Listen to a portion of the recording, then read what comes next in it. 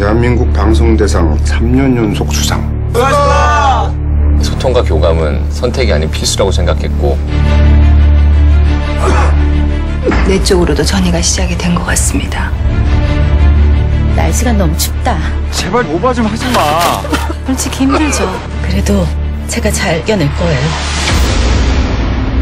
병상일기가 지난주까지 16.8%입니다. 한 방이 필요합니다. 대한민국 전 시청자들을 움직일 수 있는 이석진 PD여야만 합니다. 35% 찍읍시다. 이만 봐라. 컷! 컷! 컷! 나보고 상하게서 드라마 주인공처럼 연기하라고? 진짜 너무하는 거 아니야, 당신들! 하지마, 가자. 출연자가 촬영을 거부합니다. 정식으로 딜을 하시겠다. 마지막으로 촬영 하루만 더 하시죠. 저 협박하시는 거죠? 마무리를 하다니요. 다 합치면 좋게 20억은 넘을 겁니다. 시청률 35%를 넘긴다는 조건입니다.